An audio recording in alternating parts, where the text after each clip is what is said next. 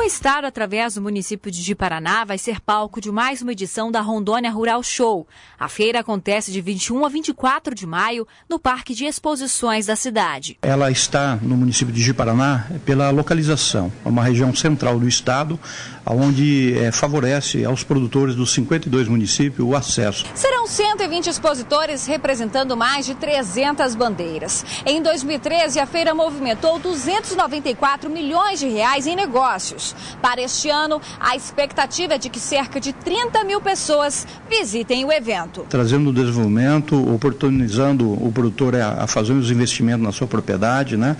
A terceira feira de tecnologia e oportunidade de negócios agropecuários vai funcionar em horário comercial, das 8 da manhã às 6 da tarde, apresentando aos investidores do setor programas e projetos de fortalecimento às políticas públicas de produção. Essa feira ela é focada para o agronegócio de Rondônia, aonde que se leva as novas tecnologias né, ao produtor rural para ele ter conhecimento. Para este ano, o evento traz novidades, como o cartão Mais Semente teremos também o lançamento do cartão Mais Semente, através do Banco do Povo. É microcrédito, o pequeno produtor rural, para que ele possa adquirir até mil reais lá, é a compra do, do semente de feijão, de arroz ou mudas de café, é, adubo, né, inseticidas, fungicidas, é um, um kit.